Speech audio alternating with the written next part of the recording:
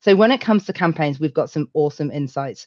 As some of the screenshots show, the talent analytics detail recommends when to run a campaign, even down to the hour. It tells us how many applicants we generally need to fill these kind of roles, and it suggests running a campaign if we need more focus, and obviously we need more applicants. But not only that, the data we receive when we run a campaign lets us know in real time how successful we are and how we've been successful. So we can assess the campaign's audience, we can know the response rate from how many people have opened it, how many people have clicked on the link, and how many people have applied.